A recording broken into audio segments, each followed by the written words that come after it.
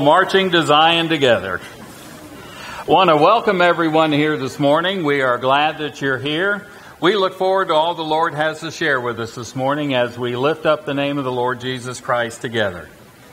Uh, this is kind of a special day, as all of you know. We are having our church conference uh, shortly after the service, about 10:30 and uh, an important vote will be taken at that time. So please continue to be in prayer even through our service uh, for this important event in, a, in the life of our church. I have kind of a special announcement to make. We are happy to welcome our district superintendent here with us this morning. If you will stand, we have a special gift for you. Uh, the altar flowers here this morning were given by our prayer team, and uh, they're given in your honor. And we thank you for your loving and faithful service to our church. So thank you very much. God bless you.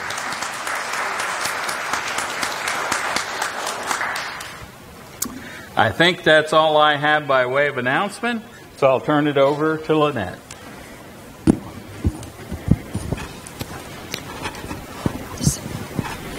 Thank you, Pastor Randy. And good morning again to everybody. It's so good to see so many people here this morning. That's a lot of people I haven't seen in, in a while. It's, it's so good to see all of y'all. First thing I need to do is just to remind everyone that we do want a record of our, everyone's attendance today. So if you would, um, the registration pad is up at at the end of the pew, if you would pick it up, sign it, and pass it down, so we'll make sure to get everybody's name on, on the list. Um, if you're visiting for the first time this morning, we welcome you. Um, there is a visitor card um, in the pew rack.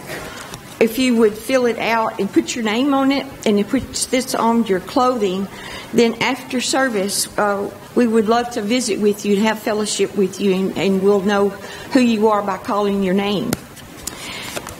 Uh, also, if you have a prayer request, there are uh, little blue cards also in the pew racks. If you would fill that out with that person's name, if you have the address, put that on there too, and then our prayer team will pray for that person and also, if we have an address, we'll send them a card to let them know that we prayed for them. Um, let's see. Let me look in here. The announcements uh, in our bulletin. Uh, the Warren Food Bank is taking boxes of stovetop stuffing. Um, of course, the church conference is at 10:30 a.m. Everyone is encouraged to attend and find out the results of the vote. Uh, our family ministries will host a covered dish dinner at the conclusion of the church conference, so please stay for that. It's always good. Um, the handbells begin their new season with us next Sunday, October the 23rd. Please join us for this unique worship experience. You will be blessed. Methodist men will meet for their monthly breakfast and fellowship at 8 o'clock on Saturday morning, October the 22nd. And then, last but not least, trunk or treat. Um, on Halloween evening on, at 5.30 to 7, we will host our largest community event of the year. We usually host well over 200 people. That's a lot of candy. Amen. yeah. Please sign up to volunteer. Um, you know, your de- decorated trunk to pass out candy to children from all over this area. We also need donations of bags of candy because we always run out of candy. Um, is there any other announcements anybody has? Anybody? Okay, if not, we'll go to the call to preparation. Rejoice, O holy church, o holy church, exalt in glory the risen Savior shines upon you. Let this place resound with joy, echoing the mighty song of all God's people. Amen.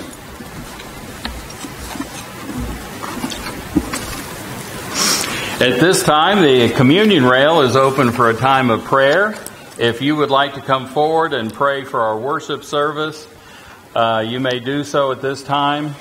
God challenges us to choose into the enter into the holy of holies and experience His presence for ourselves as we worship together. So we'll begin with a time of prayer. The communion rail is now open.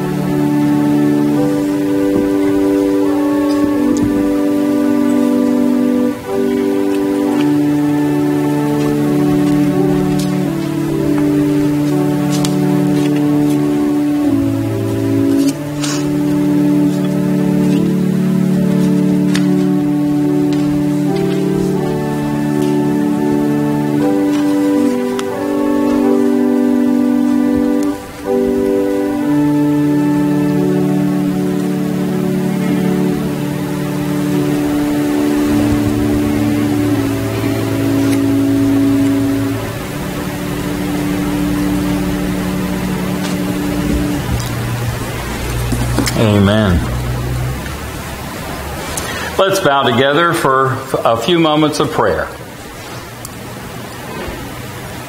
Our gracious Heavenly Father, we thank you and praise you for another wonderful opportunity to join our hearts together and lift up the name of the Lord Jesus Christ. We thank you for your presence here with us. We commit and dedicate this service to you. In everything we do, may Jesus Christ receive all the honor and the glory and the praise, for it's in his name we pray. Amen. Amen. Let us continue in our worship with our opening hymn, When We All Get to Heaven. Let us stand together as we sing verses 1, 2, and 4.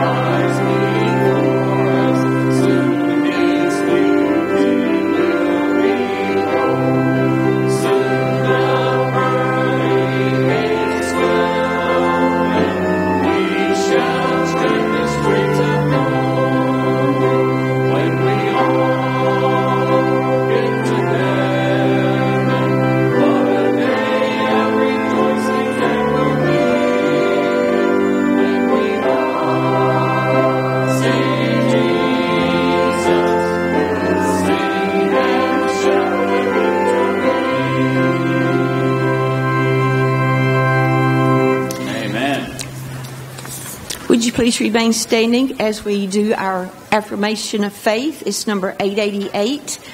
Uh, just please read responsively and it will be on the screen.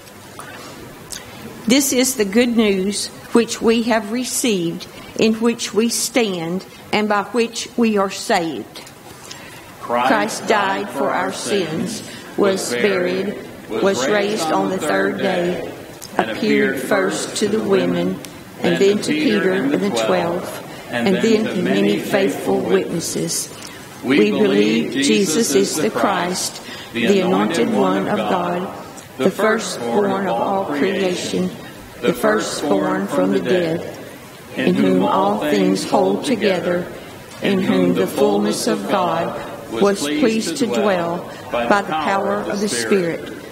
Christ is the head of the body, the church, and by the blood of the cross reconciles all things to God. Amen.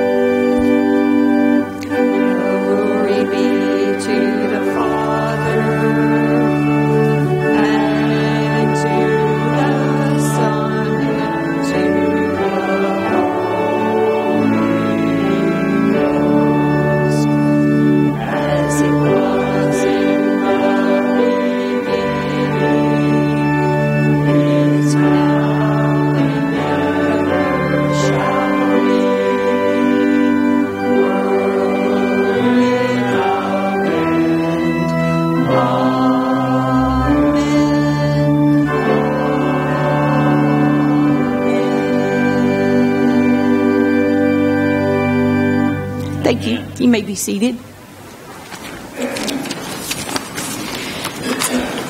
We have come to that part of our service where we share our joys and our concerns. Uh, we have quite a few concerns um, on the back of the bulletin on our church family and also our family and friends. So uh, just be sure and reflect on those names this week as, as we go through an, another week of these people having uh, some medical problems and some others. Uh, are there any new ones any that we need to put on the prayer list this morning? I have one. Um, I have a, a little neighbor lady that uh, she's she's 99 years old. She's on hospice, and um, she's at the end of her life. And um, yeah, mo- most people, y'all here know my sister that sits with people. Well, she's sitting with this lady. And so that lady's really lucky to, to have her because, I mean, we've known her all, our, all of our lives. So she's so glad to have my sister there with her. But she's a wonderful lady. Her name is Frank, uh, uh, Ruth Franks. She's actually already on the prayer list, but um, but she she's at she's at the getting to the end of her life. Is there is there anyone else um, concerns? Well, I know we have, everybody has concerns on their heart that we may not want to share, but we just need to pray for each other and all of those prayers that we have in, in our hearts. How about joys? I, I see some hands. I have a big joy. Uh, last week, even though I was not able to participate, Kairos number 41 uh, happened at the Stiles unit, and 42 uh, inmates got to participate and experience uh, the love of Christ through the weekend. Uh, I've got a report from the weekend leader, uh, and he says we were blessed to have two new men serve who were ex-offenders. So ex-offenders on the Kairos team. That's unusual. So that's a blessing to them and a blessing to the participants in the group. Uh, they used another one as a backup for two days to cover situations that came up when people couldn't be there. Heard from many serving uh, that participation was above and beyond the past Kairos retreats. A lot of the inmates were a lot more uh, participating and introspective of their own lives. We had one participant give his life to Christ in front of everyone, and many others made decisions to become more involved in their spiritual lives. We had one participant who said because of Kairos, he called his brother who he hadn't spoken to in 32 years. His brother answered the phone and spoke with him and says he is now planning on coming to visit his brother in prison. Amen. The chaplain took pictures of many of the posters.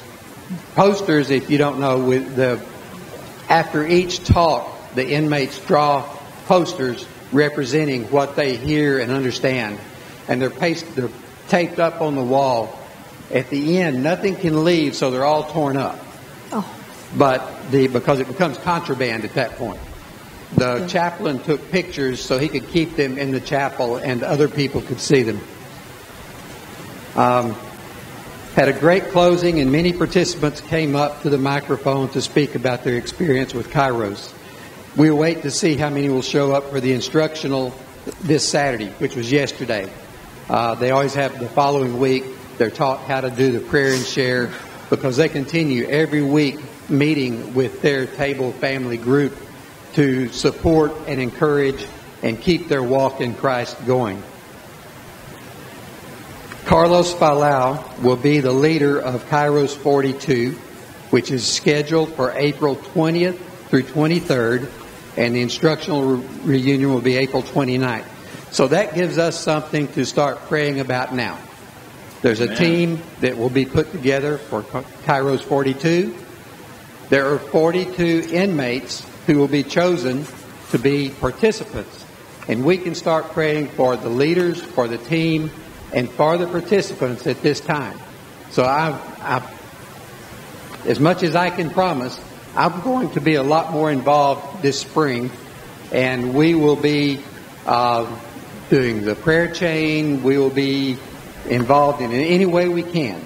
So I just appreciate your prayers most of all, and any other help we can come up with at that time. Thank you. Amen. Thank you, Scott. Thank you for sharing that with us. That is that's a blessing. That's a joy. Um, Tim, go ahead. Uh, we uh, successfully made our way back from places afar. Really good visit, nice cool weather. Uh, 50th, 50th year class reunion, and there's more of us on the right side of the sod than the wrong side. Amen. Praise God.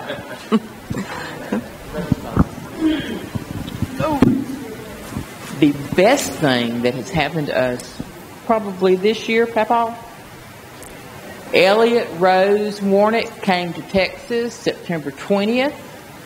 She's beautiful. Her big brother and her big sister are crazy about her, and they're all doing very, very well.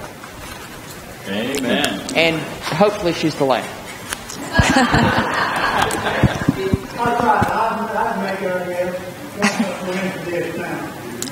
Uh, I am so blessed since uh, 1953, I've been celebrating birthdays of this young lady here.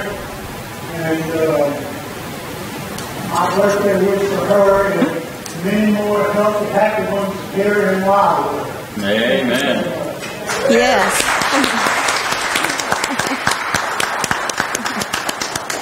okay. Um, well, the weather again has been so beautiful. We've had so many pretty mornings and cool mornings. It's just been so good. We don't usually get that many cool mornings. It seems like here in Southeast Texas, like we have had. But we need some rain, and I think we might get some rain this week. So, Amen. So, if if that's all, everybody, um, Pastor Randy, I'll give it back to you.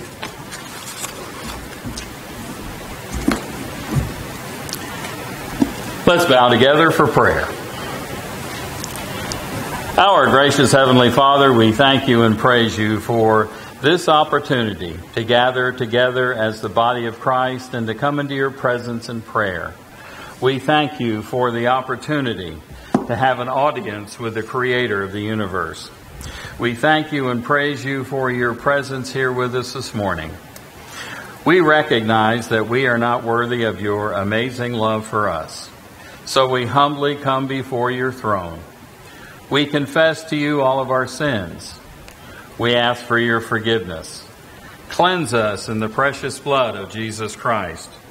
Prepare our hearts to be the disciples that you've called us to be. And Lord, our hearts are burdened this morning for those in need among us, especially for the requests spoken here, as well as the unspoken requests on our hearts, and also all of those listed in our bulletin. We ask that you would bring healing, comfort, and peace to your people today. We thank you that you are our great physician. You know and understand these needs even before we bring them before your throne. Your Holy Spirit is already at work moving among us, touching and healing hearts and lives. So we thank you for the many answers to prayer that we have experienced as individuals and together as a church. We thank you for all these many blessings upon us. And now, as Jesus taught his disciples, we pray together. Our Father, who art in heaven, hallowed be thy name. Thy kingdom come Thy will be done on earth as it is in heaven. Give us this day our daily bread, and forgive us our trespasses, as we forgive those who trespass against us. Lead us not into temptation, but deliver us from evil. For thine is the kingdom, and the power, and the glory forever. Amen. At this time, I'd like to invite the ushers to come forward for a morning offering.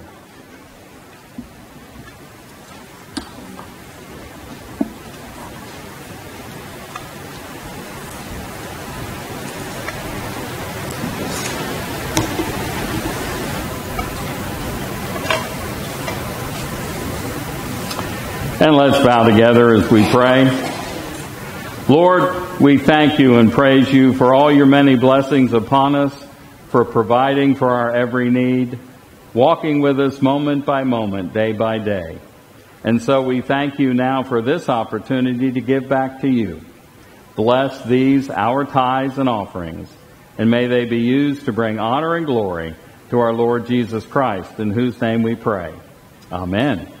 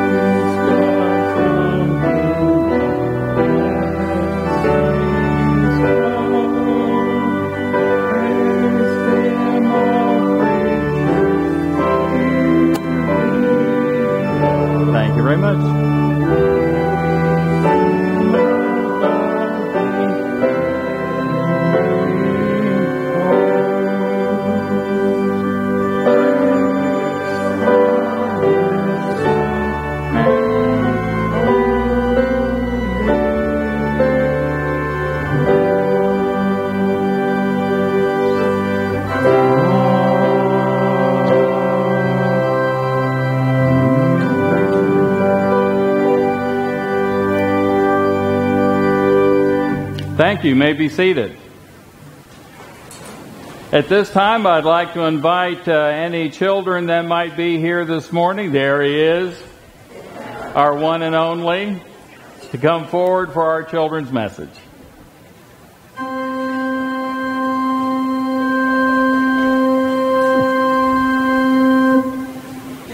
Did you hear that note?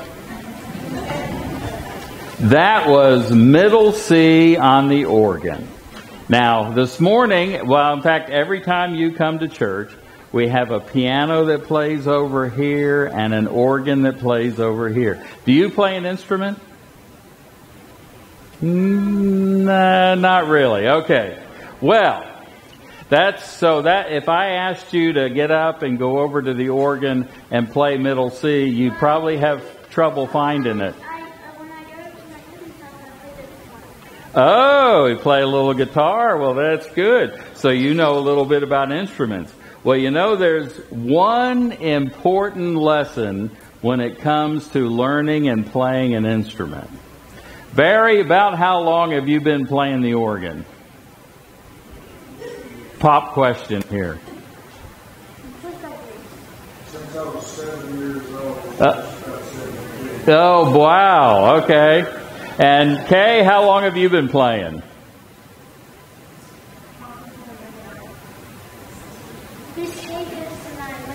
Yeah, that's right, she does. So they've been playing a long time, and you know how they get so good at playing? One thing practice. They have to practice, practice, practice all the time so they can uh, stay good at playing their instrument. And so practice is very important. So in our scripture that we're going to read in just a few minutes, Jesus is telling the disciples there's one thing that they need to do over and over and over again in order to be good at it, in order to be effective, and that would be prayer. Praying is something that we have to do regularly and never stop and never give up. And that's what our scripture is about today. So it's important for us to recognize that praying isn't something we do just once and then we forget about it and go on our way. God wants us to pray. In fact, the Bible says pray continually, pray all the time, never give up. Even though sometimes when we pray for something that we really feel like is important and it doesn't happen, we get discouraged, huh? Sometimes God doesn't answer prayer the way we want Him to, but God tells us what's most important is don't give up and to keep praying. So I think that's a good lesson for us to learn. Just like with the piano and the organ, prayer takes practice, practice, practice. Let's bow for a prayer. Lord, we thank you for our time together this morning. We thank you for learning about prayer and help us to continue to always keep praying and asking you and bringing our burdens to you. In Jesus' name we pray. Amen. Thank you very much. You can go back to your seat.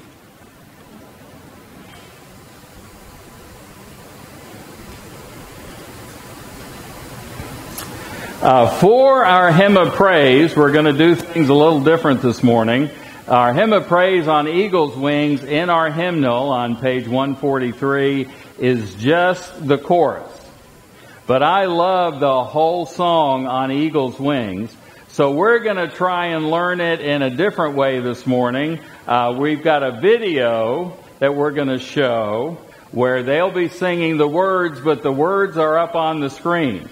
So we're going to stand together, we're going to play the video, and hope you'll start learning the whole song of On Eagle's Wings. Let's stand as we sing together.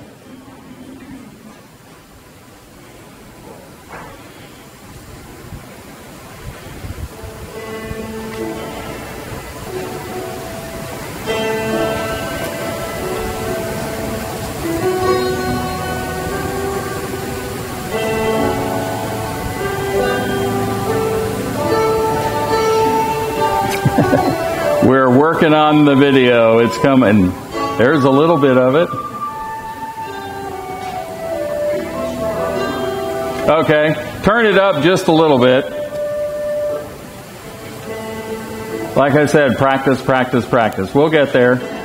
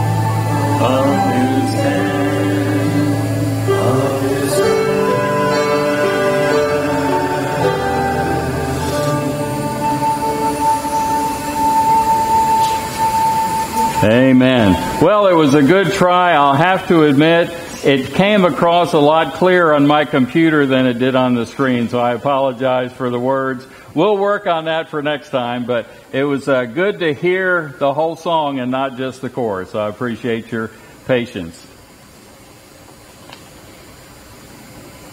That was beautiful. Thank you,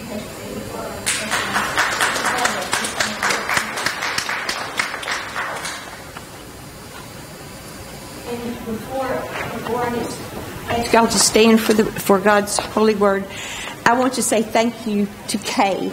That song that you did, shout, shout to the Lord, that's one of my favorites, and you played it more beautifully today, I think, than I've ever heard it. So thank you so much. It was a blessing and another joy. Amen. Our scripture this morning is Luke 18, 1 through 8. Then Jesus told them a parable about their need to pray always and not to lose heart. He said, In a certain city there was a judge who neither feared God nor had respect for people. In that city there was a widow who kept coming to him and saying, Grant me justice against my opponent. For a while he refused, but later he said to himself, Though I have no fear of God and no respect for anyone, yet because this widow keeps bothering me, I will grant her justice so that she will not wear me out continually, con- continually coming. And the Lord said, Listen to what the unjust just says. And will not God grant justice to his chosen ones who cry to him at day and night? Will he delay long in helping them? I tell you, he will quickly grant justice to them. And yet, when the Son of Man comes, will he find faith on earth? This is the word of God for the people of God. Thanks be to God. Thank you. You may be seated.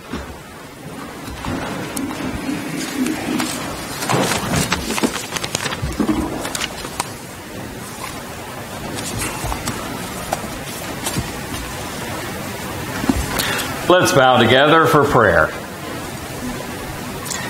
Our gracious Heavenly Father, we thank you this morning for your word. Open our spiritual eyes and ears that we may see and hear your truth for us today. In Jesus' name we pray. Amen.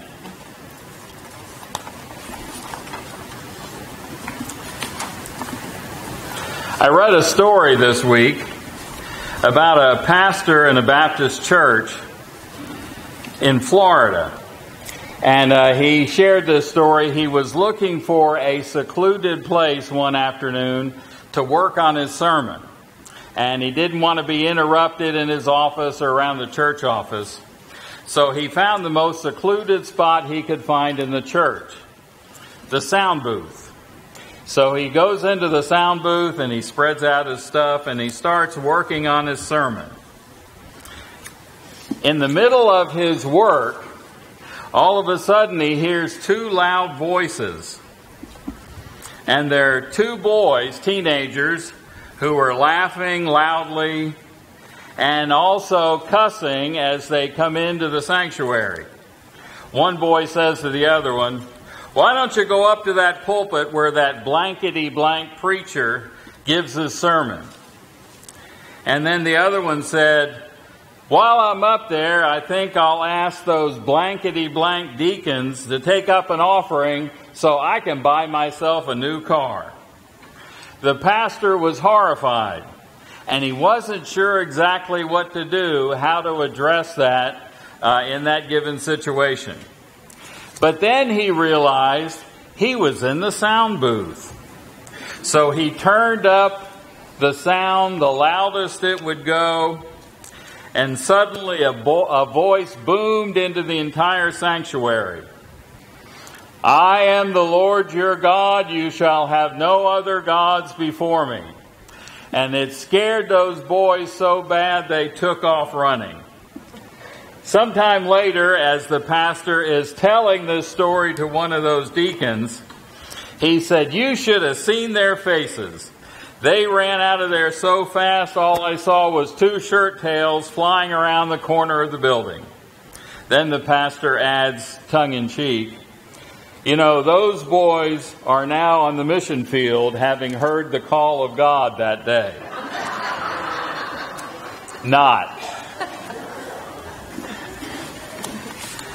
When I read that story, though, it reminded me of something that I saw quite a few years ago in a previous church I pastored. I used to have to drive back and forth on this uh, main highway uh, back and forth to the church. And they had this, uh, I passed a big Baptist church that has this great big sign out front. And normally it just had, you know, kind of newsy things on it. But then one week, as I was driving by, the sign said, Don't make me come down there. Sincerely, God.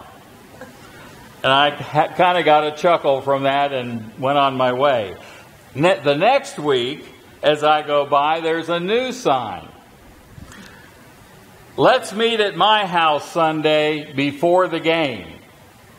I'll let you think about that for a minute. Sincerely, God. Some of you may have stayed up awful late last night to watch the Astros finally finish. What was it, the 18th inning or something like that?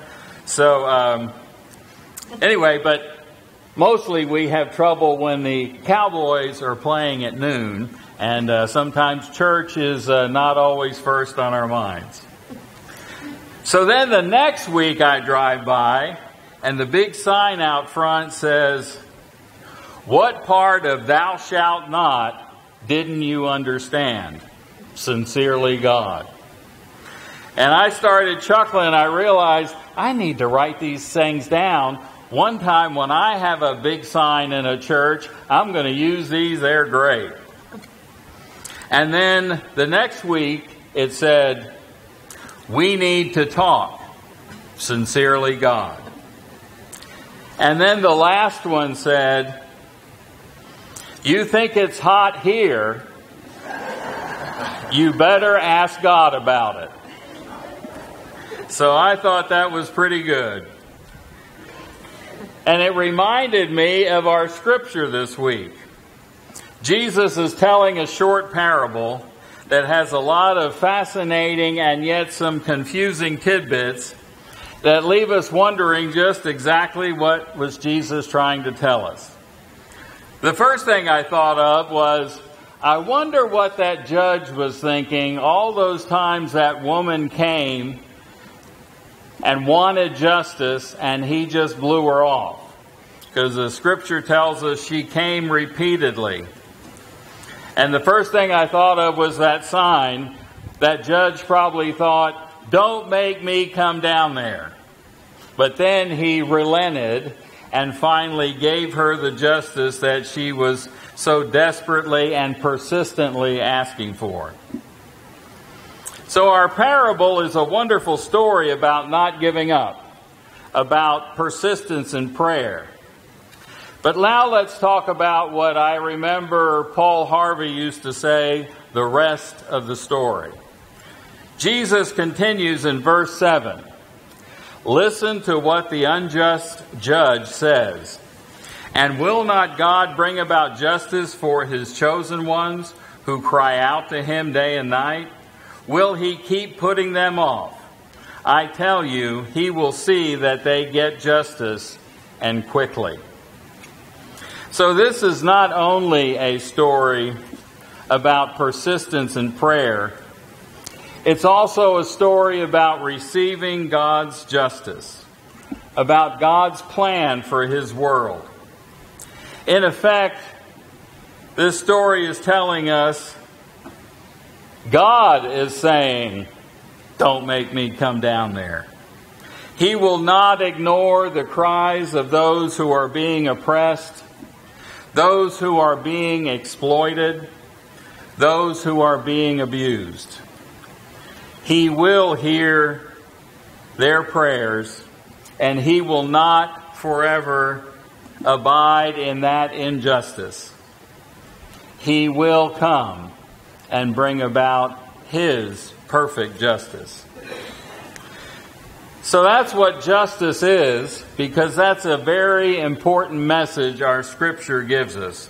Not only in our scripture this morning, but all throughout the Old Testament, the prophets were definitely messengers of God's justice. So this woman in Jesus' parable came to the judge and pleaded with him to give her justice. Someone was doing her wrong. We don't know what the issue is specifically and the judge finally heeded her request. Jesus says that the judge of the universe is like that judge. Even though we don't see it or understand it or know that it's even happening around us, God is constantly intervening in the affairs of this world and is enforcing His justice, so often justice that we never even recognize. But one day, when His justice comes to fruition, the world will be set right the way He designed it. But unfortunately, what we see nowadays isn't always God's justice. Basically, it's humanity's idea of justice. And unfortunately, when humans get involved in anything, they always tend to some degree to mess it up. Because oftentimes we put ourselves at the center of the universe. We are creating justice that we think is proper and right, but oftentimes it is not according to God's will, and sometimes God isn't even considered in the equation. But our scripture this morning tells us without a doubt God will intervene in His time, and He will send out His justice just as He did for that widow. In fact, biblically, it is impossible to overstate this truth. God hates injustice.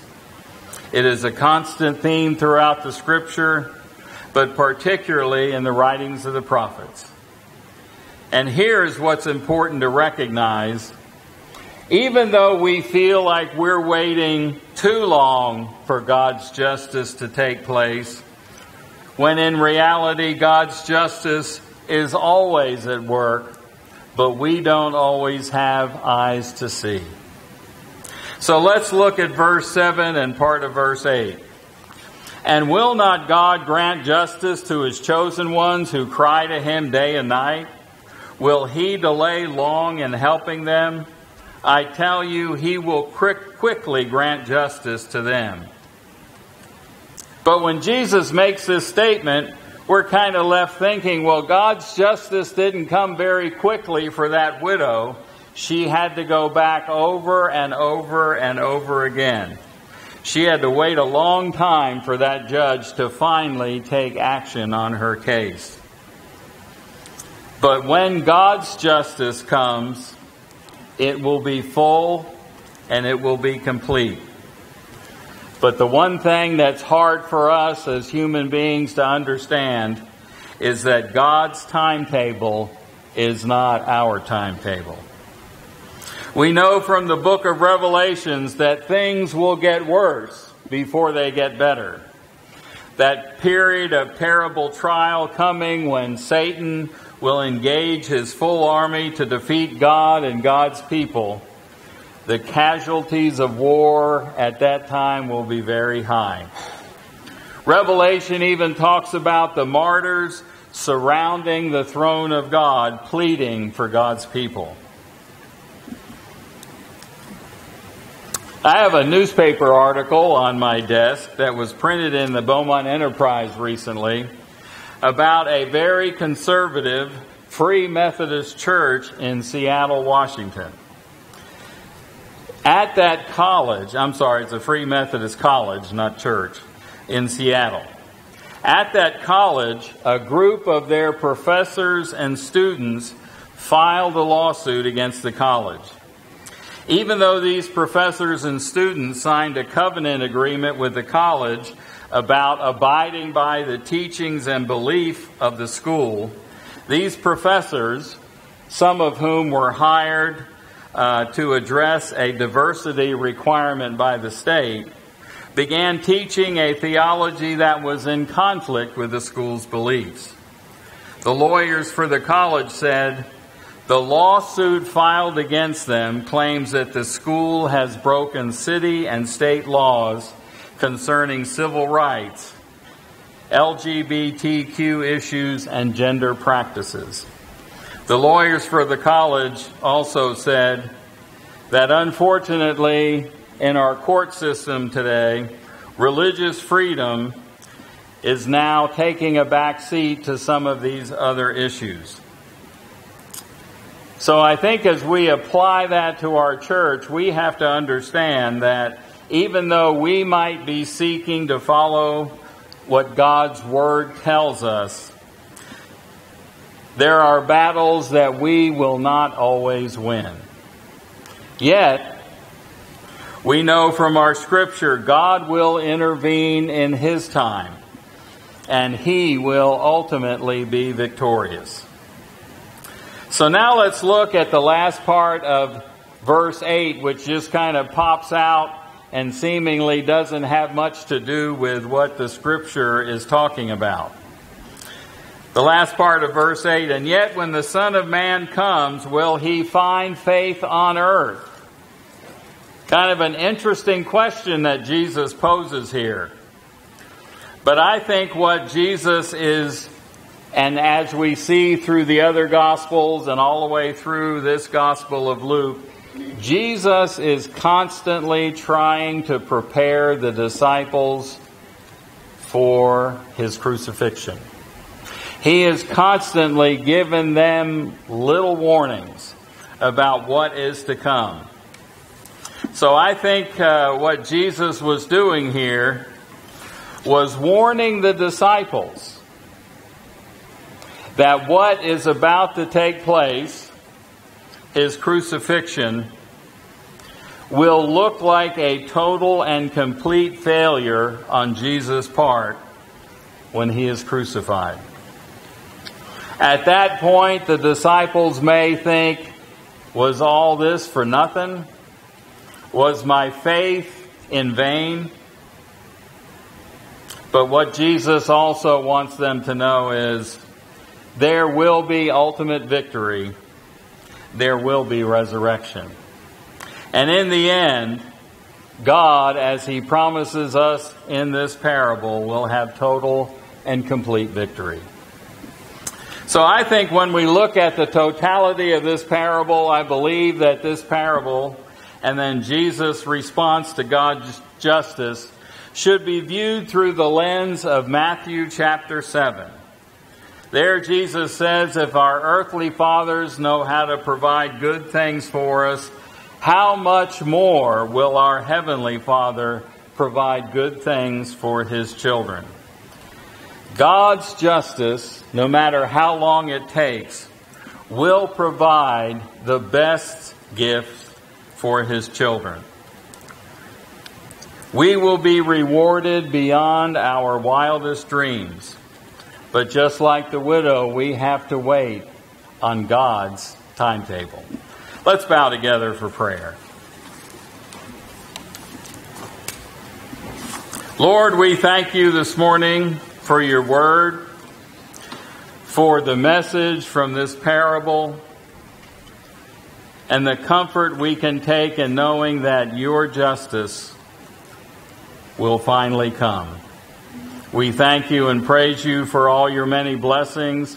We have experienced your justice in many cases in our lives already.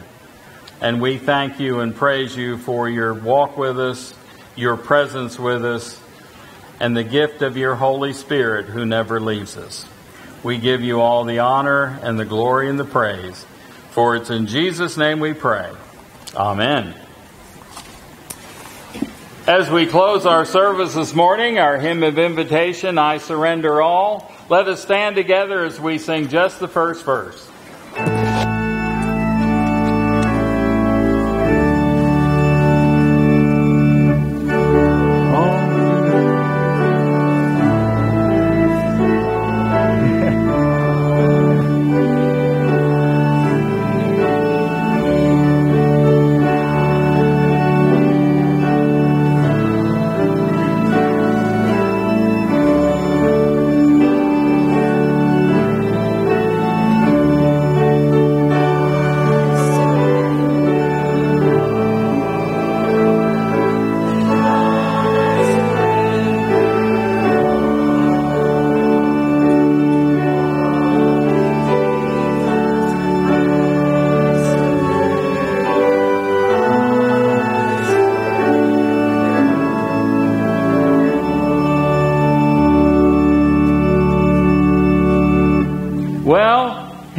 Words have not been at the top of our list today for our worship service.